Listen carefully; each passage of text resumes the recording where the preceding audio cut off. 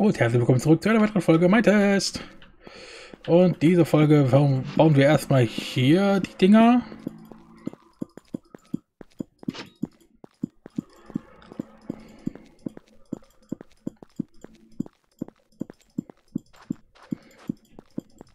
Ich baue, baue erstmal nur eine Reihe, weil zum Arbeiten hier äh, macht sich hier der kleine Trampelweg tatsächlich ups, erstmal von Vorteilen. Von daher. Aber. Was ist mit, mit, meinem Timing hier los? So. Alter, liebst du einfach World Edit nutzen und Ding einfach hier langziehen. Ah. Hä? Scheiße, ich hab gleich Sachen umgelassen. Verdammt. Lass mich durch, ich bin Arzt.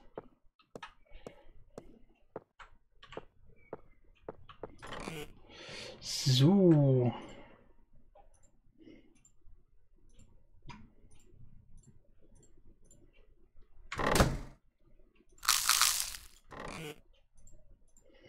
Äh, dich brauchen wir, dich brauchen wir, dich brauchen wir.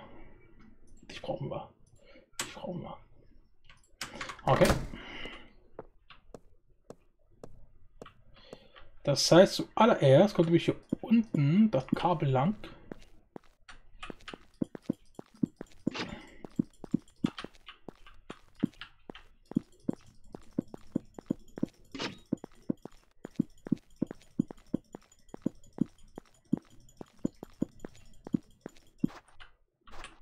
Was? Wait. Achso. Wow. Ganz kurz dachte ich gerade. Mein Leben. Es ist vorbei. So, der letzte kann frei bleiben. So, jetzt müsste als nächstes würde ich gerne auf der Höhe von meinem Kopf müsste jetzt das Ding kommen. Das heißt, da drüber das Ding.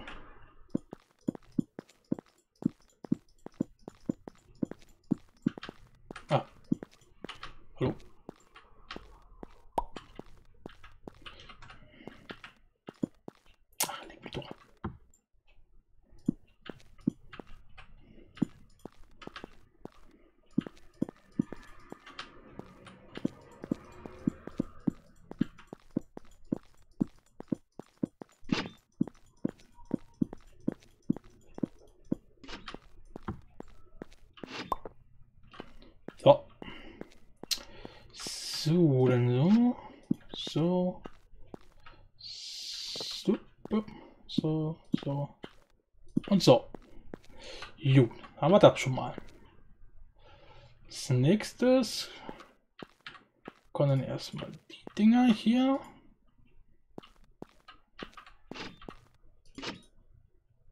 Na gut, das ist vielleicht gar nicht so klug gewesen hier. Ach, jetzt doch.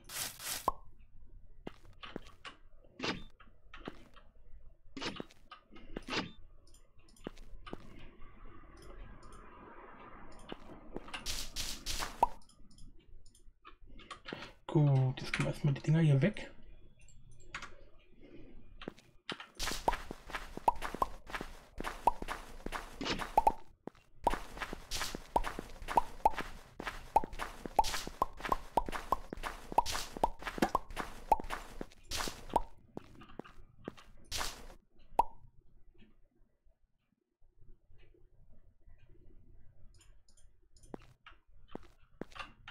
Genau.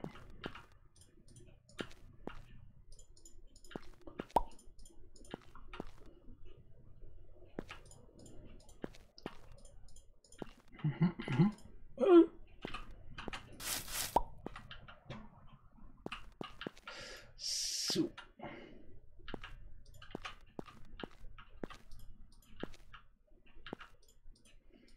Problem ist, dadurch, dass hier immer so eine Lücke ist, frage mich immer, ob, ob ich hier nicht schon weit weg bin, aber dabei ist es doch richtig.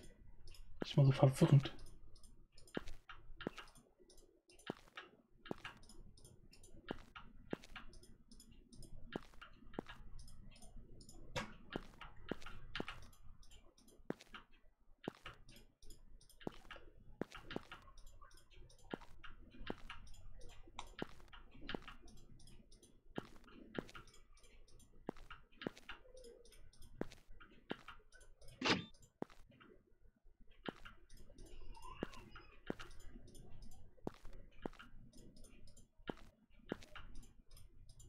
Aha. So. Jetzt kommt das wahrscheinlich schwierigste Part. Was muss ich hier bei jedem... Obwohl, so scheiße ist gar nicht.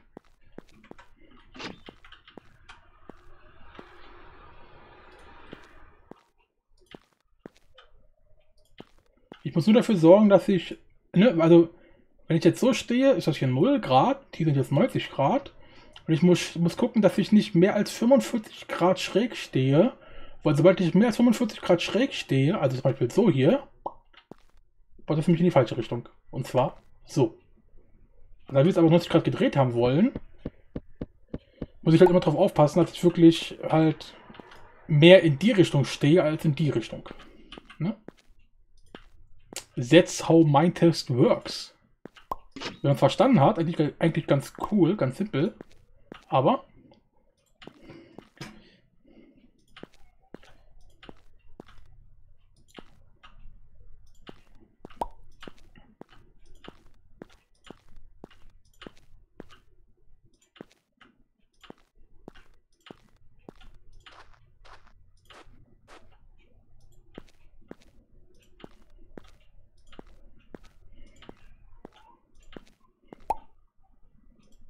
Ja, das war's.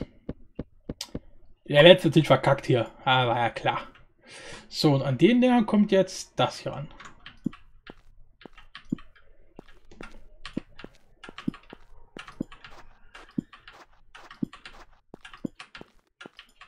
Halt.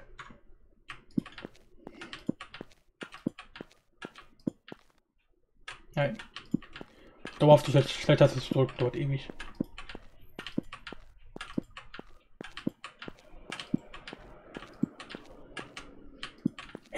ein motorisches Meisterwerk hier.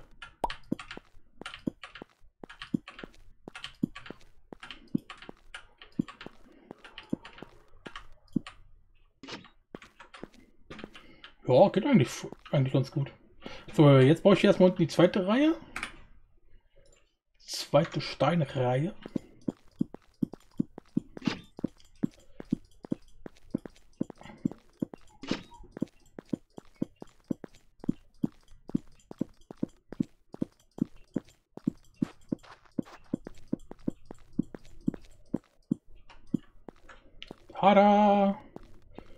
Sieht ganz, ganz cool aus. So, und jetzt kommt hier äh, eins. Genau, eins lang.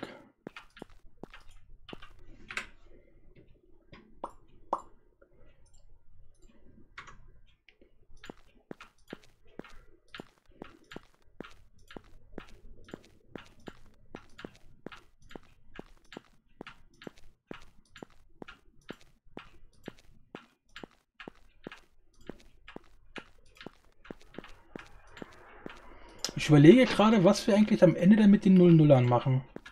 Also mit den 0%igen. Jetzt, ich meine, ich könnte natürlich... Ah, nee. Ne, ne, meint, haben wir schon überlegt. Die werden ja hier auch mit zurückgeführt über den, über den roten Kanal. Ja, genau, okay. Nevermind. Ja. Genau. Trotzdem würde ich gerne als Sicherheit, da wir sagen, alles was anders ist, kommt nach blau, würde ich trotzdem gerne hinten wieder eine Kiste hinstellen, wo, wenn hier doch irgendwas ins System reinkommt, was hier nicht reingehört, dass er nicht irgendwelche Rohre zum Platzen bringt, sondern dann wirklich hinten wieder in eine Kiste kommt. Einfach wieder als Sicherheitsmaßnahme.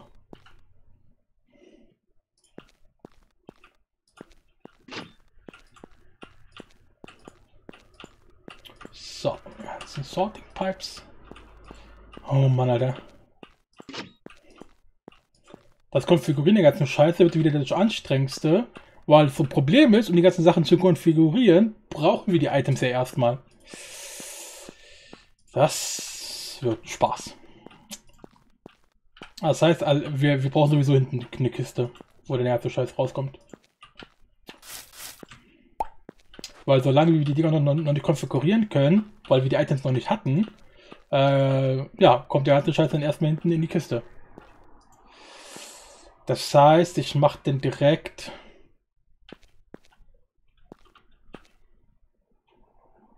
Ja, genau. Hier ist dann, genau, hier ist dann auch einfach wieder genauso wie bei allen anderen. Alles andere geht nach blau. Und das blaue geht dann einfach hier so rum. Hey. Und geht dann nach vorne in einer Kiste.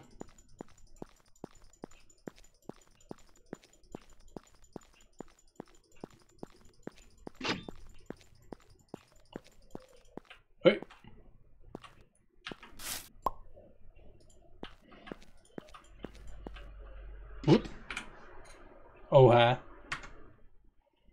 Wir brauchen ganz schön viele Rohre, kann das sein? Holy shit.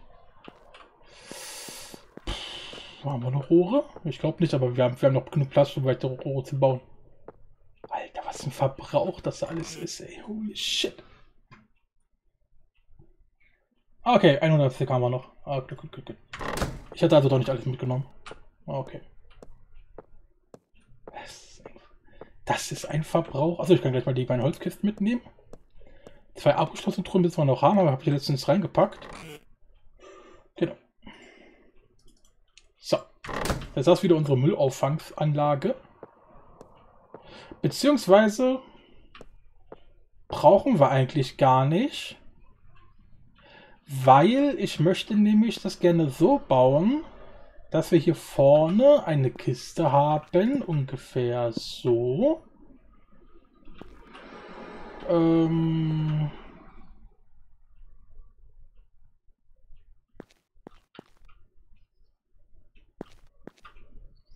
Man kann bei den Kisten die Items, glaube ich, nur seitlich rausziehen, ne? Das heißt, hier oder hier muss ein Injektor halt sein.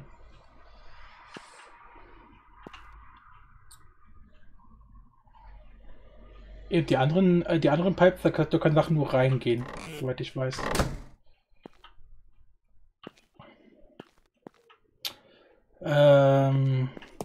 Gut, dann müssen wir die Kiste also doch eher so hier hinstellen.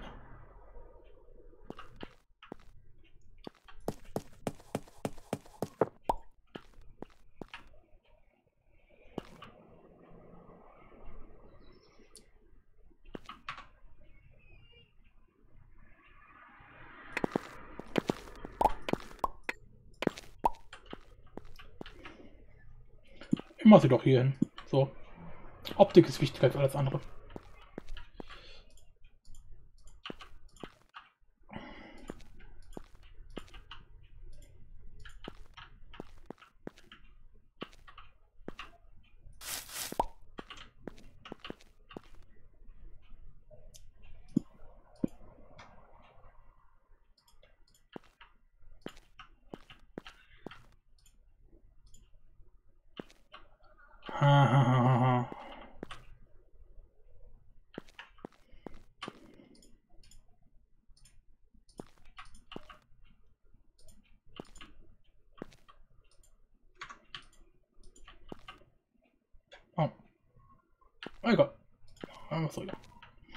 So, das heißt, es kommt dann einfach alles hier in die Kiste.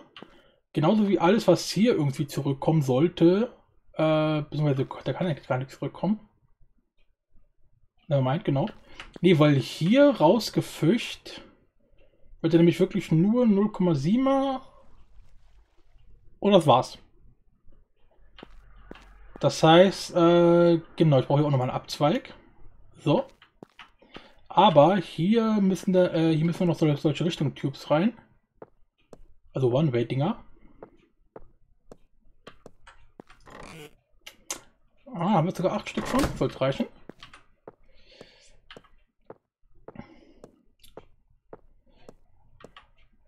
Ne, das heißt, meine Idee war quasi, äh, ich glaube, glaub, ich muss jetzt so rumstehen. Genau. Und hier muss ich jetzt so rumstehen. Und hier... Ja, eben hochkant geht, glaube ich, gar nicht. Ne. Das muss ich also mit dem Schraubendreher rotieren.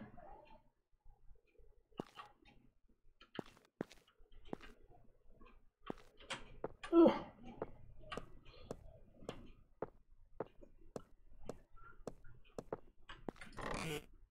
So. Schraubendreher ist in der Werkzeugkiste. Wieso habe ich einen über?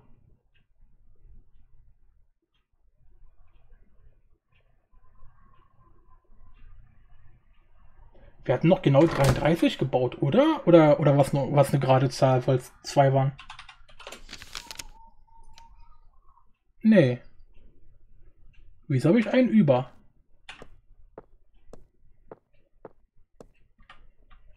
Oh, hier vorne fehlt einer. Das hat halt einiges. So, jetzt. Ähm...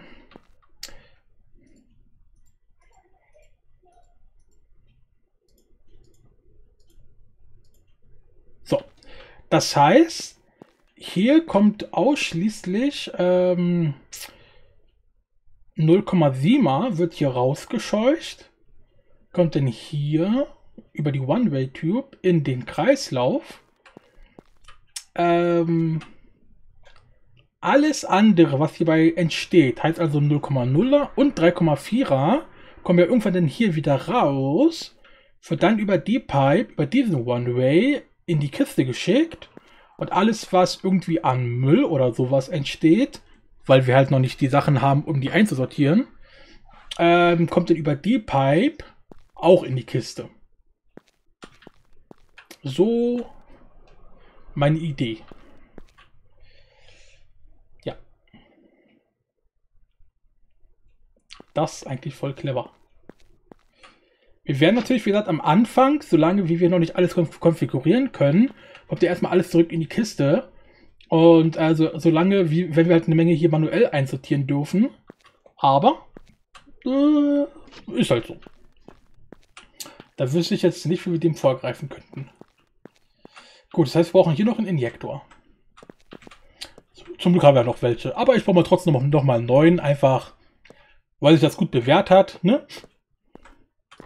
Nehme ich da gleich einen Stackwise oder? Nee, Item, Item, Item.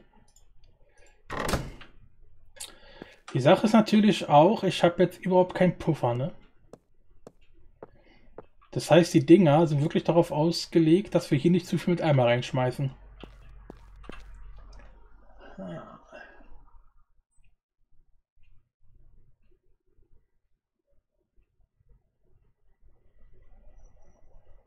Das heißt, wir dürfen hier maximal immer ein Stack mit Eimer reinschmeißen.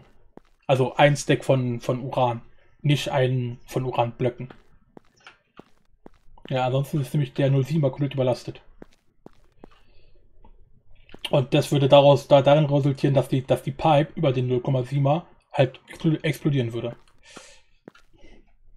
So, wir wollen ja überall hier noch diese Rohre installieren. So, so, so. So, so. Schön im Schleichmodus hier.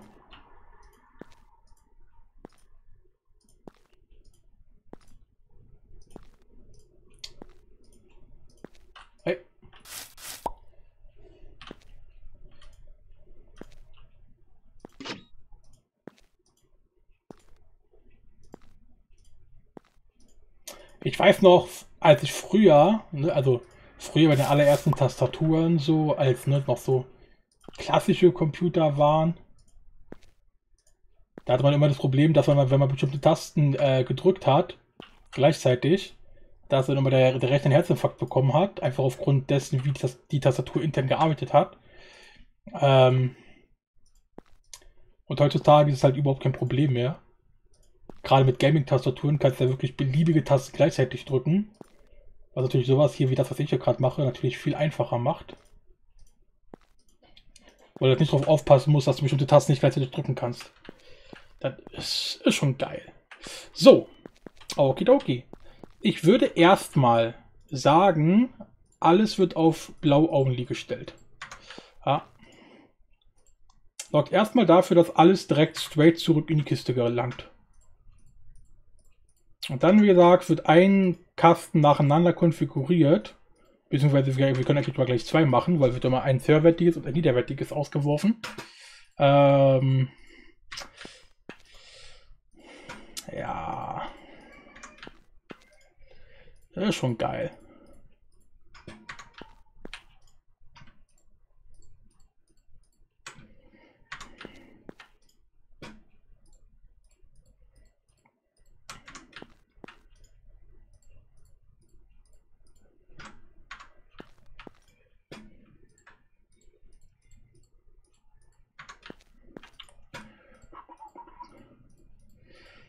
Eine Sisyphus-Arbeit hier, ey. Holy shit. Warum brauchen wir diese Anlage nochmal? Hab keinen Bock mehr. Äh.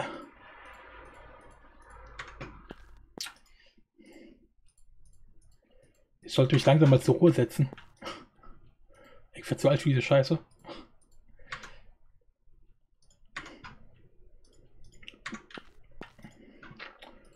Vor allem müssen wir eigentlich nur kontrollieren, ob jetzt alle nochmal richtig konfiguriert sind.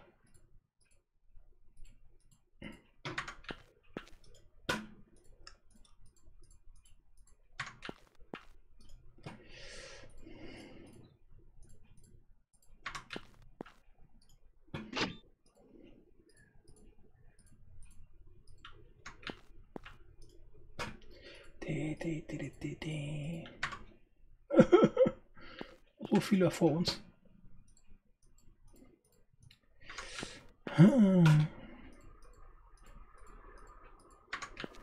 Aber jetzt können wir in der nächsten Folge dann den ersten Testlauf machen.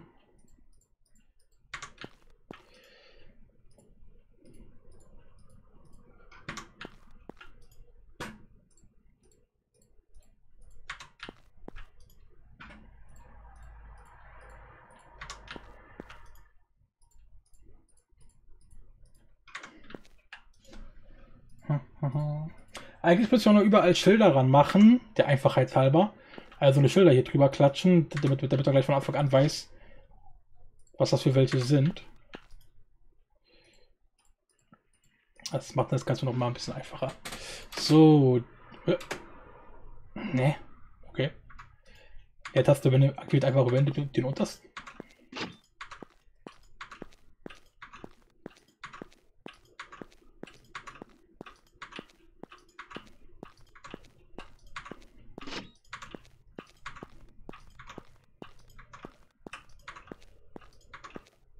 Ja, wir, wir, müssen ja die Anlage noch anschließen, ne? Wir müssen noch, noch die MV-Kabel nach oben verlegen und das Mesecon-Kabel nach oben verlegen.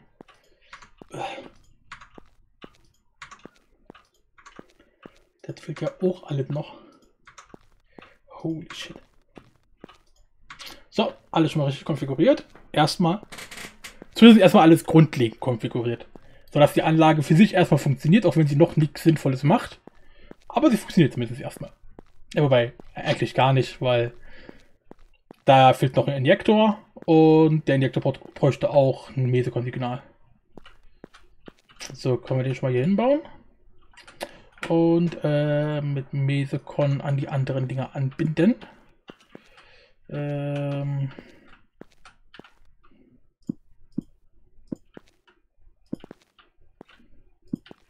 so. Sieht optisch ganz gut aus. So. Jetzt müssen wir nur gucken, an welcher Stelle wir das Mesekon. Also, ich meine, MV-Kabel hätten wir hier schon mal. Das heißt, könnten wir hier einfach eine Steigleiter machen. Die Frage ist, wo kommen wir günstig an ein Mesekon-Signal ran? Oder erzeugen wir einfach das Mesekon-Signal hier unten selbst? Können wir eigentlich auch machen. Haben wir noch mal, haben wir noch, noch so eine komische Plant? Plant da jemand was zu machen? Blinky Plant. Ich hätte aber gerne so eine so eine lila, ne? Ah, sieht auch praktisch aus. Was brauchen wir da? Ach, eine rote. Danke. So, und ein Fragment. Easy. So. MV-Kabel haben wir, genau. So. Da können wir die Blinky Plant gleich optisch schön hier hinten reinklatschen. Hopp. So. Äh, und da oben das Ding nehme ich gleich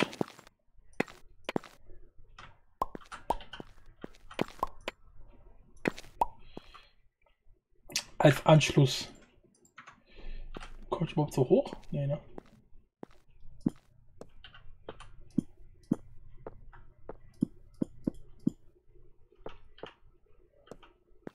Aha.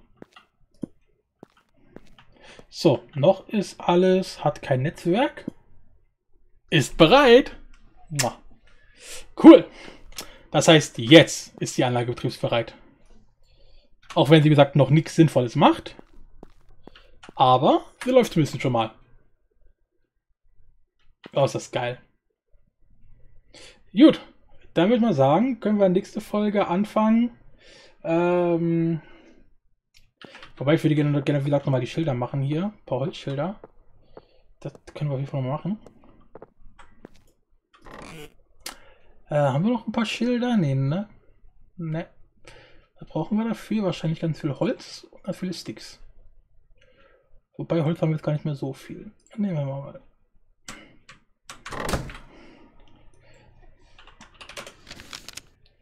Äh, da. Was? Dann halt die. Ah, können wir beliebiges Holz nutzen. Gut, dann nehmen wir natürlich, wenn wir beliebiges Holz nutzen können, nehmen wir natürlich dieses hässliche Kiefernholz. Da haben wir Unmengen von. Und braucht eh keiner. So. Gut, so viele Schilder brauchen wir jetzt auch wieder nicht. By the way, eigentlich, aber hey. Äh, wo denn jetzt? Da. Oh. Äh, wie viel brauchen wir? Wir brauchen 33, also 11.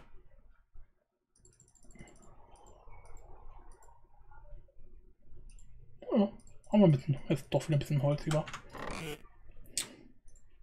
So, so, so.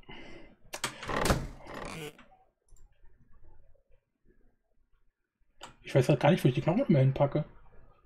Haben wir, haben wir für Knochen irgendwie... Wir hatten doch so eine so Kiste für Gartenzeug. Nee, auch keine Knochen mit dabei. Warte, wo habe ich denn die Knochen immer hingepackt?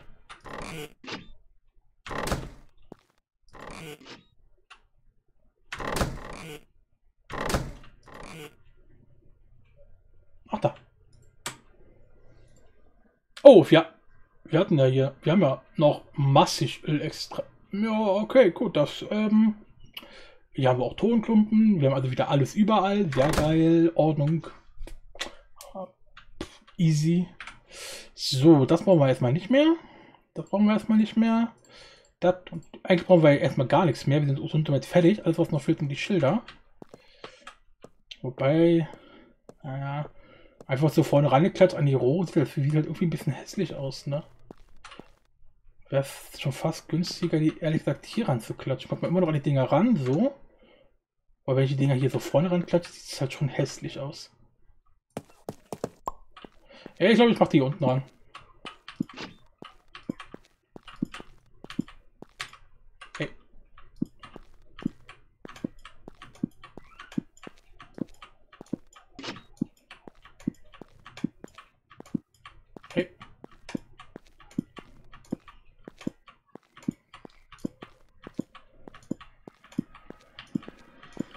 können manche Schilder doppelt platziert werden, wenn ich ganz kurz die rechte Maustaste drücke.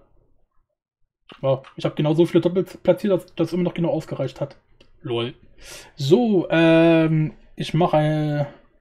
Ja, komm, 0,0%. Äh. Yes. 0,0%. Hey, jetzt, jetzt habe ich schon keinen Bock mehr.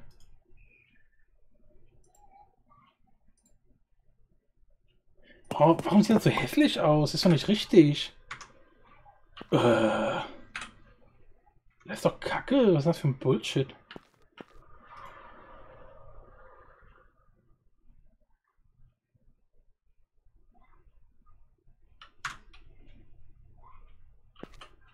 Das sind gar nicht die richtigen Schilder, kann das sein?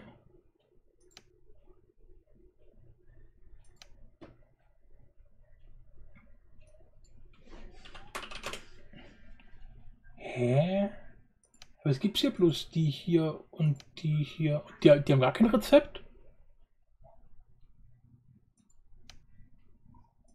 Warum haben die kein Rezept?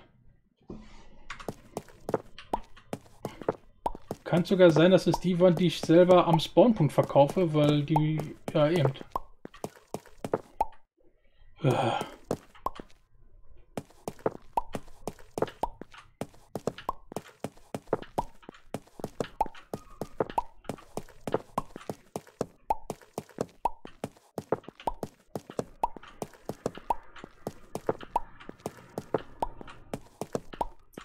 Deprimierend.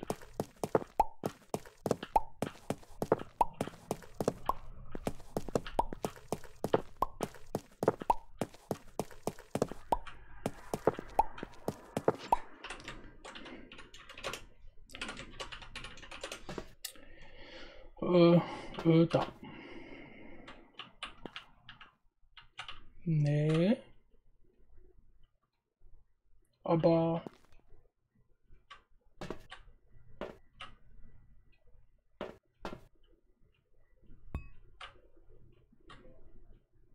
Hm. Wohl nochmal zwischen den Folgen hier als Administrator nochmal LAN ranhängen für die Schilder. Das ist ja blöd mit diesen. Ja, über diese, die, diese, ganzen, diese ganzen kaputten Rezepte. Ähm, wie habe das Spiel beendet? Egal. Auf jeden Fall, bis zur nächsten Folge.